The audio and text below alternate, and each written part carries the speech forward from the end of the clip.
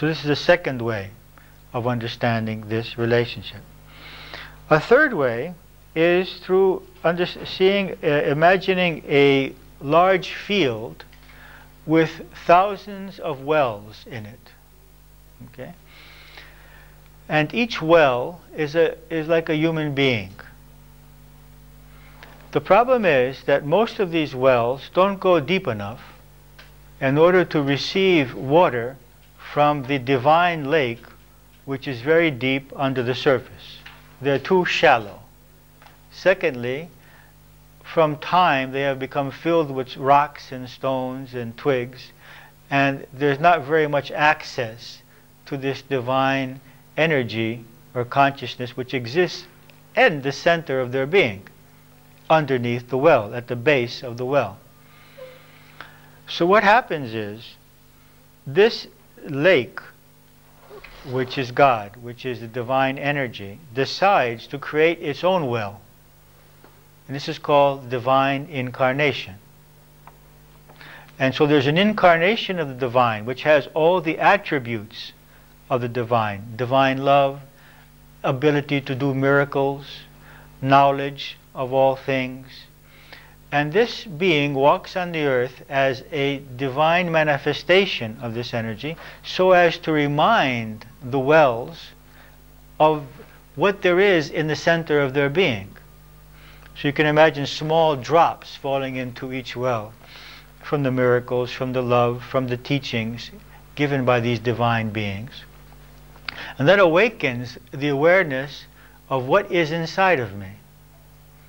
Then there are two ways for the wells, which are in this field, to connect again with the divine source. One way is to worship the divine well through worship or prayer, as we discussed last week. Another way is to dig deep into themselves through meditation and philosophy, uh, to as to touch that divine lake which exists within the center of their beings. Eventually, this is what has to happen. Eventually, the focus has to stop being on the form. We have to see, stop looking at the well and realize that the well is no, no more than a manifestation of the divine lake. That is, that the form is just a temporary, temporary manifestation of the universal, and that God cannot be limited to an image. The divine cannot be limited to an image that we have in our mind. It is something universal beyond time and beyond space. But the image is a very useful way for us to connect but it does not represent the totality of the divine. Another idea here, a model that we can investigate, is the flame. Now, there's a very nice custom in the Orthodox Church at Easter where at the moment that they, they are about to acknowledge the rising of Christ from the dead, the, church, the priest comes out from behind of the altar with a candle lit. And everyone in the church then goes to light their candle from that one flame. So that one flame is just transferred. It's transferred from one candle to the other as each person takes their candle to light others. And so we see this one energy moving out through the church, spreading out until everyone's candle is containing the same flame which the priest came out with. So in this way we can understand that there is one consciousness which spreads out in expressing itself through all of these apparently separate containers of that consciousness. But each candle is containing the one flame because that one flame just spread from one candle to the other. So each of us has that spark of the divine within us, regardless of the color of the candle. You know, you find large candles, you find small ones, you find very fancy ones. Even now you find them with Superman and Batman. It's unbelievable. Kinds of things on them. Okay, so uh, each of these is the difference in form, but each, regardless of the form of each candle, there is only one flame, and it's the same. Okay, so all beings, although they may appear differently, are simply containers of the one divine energy, the one divine light. It doesn't matter whether they're American or Greek or Turkish or Russian or black or white or Christian or Muslim or Hindu. These are silly things which have to be let go of.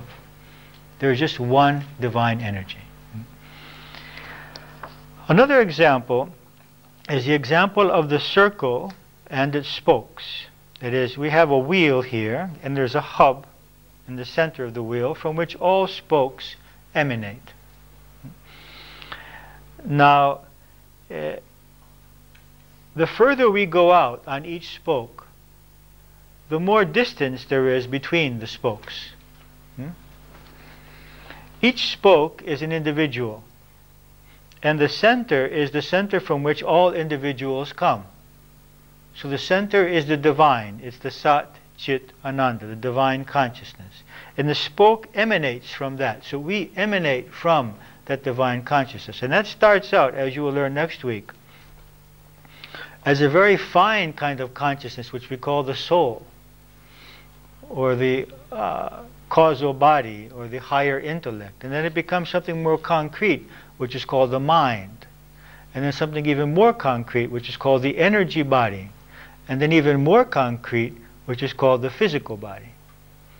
So at the end of the spoke, outside, I have the physical body. As I go more deeply and I have the energy body, as I go deeper I have the mind, and as I go even deeper I have the soul, and if I go through the soul I come to God, I come to the divine, which is the center of all of these uh, spokes.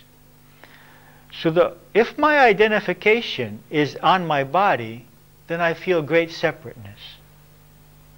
As my identification begins to move inward to the energy body, to the mind, to the soul, then the distance between myself as a spoke and another as a spoke lessens. When I come to the center of my being, which is the center of the wheel, I come to the center of all beings. And this is why some people, spiritual people, have knowledge of what other people are thinking or feeling or what they've been doing. That's why they have knowledge of their past and their future. Because they come to the center of their being which is the center of the other being. There's only one center of beingness. There's only one center of consciousness, you see. But that requires, of course, the ability to withdraw ourselves from our individual identification, from our identification with our, as a, of ourselves as a body and as a personality. As we are caught in the ego, it is very difficult to experience such a state. Another example is the sun, which is shining and is reflecting in millions of bodies of water all over the world, in oceans, in rivers, in lakes, in glasses of water, in puddles on the road, mud puddles. And this image of the sun, as it reflects in each medium of reflection, differs depending on the depth of the medium, the particles in the medium, the color of it, the nature of it. But there's only one sun. There is only one reality. But that reality appears to be millions of suns in millions of reflections and appears differently in each reflection.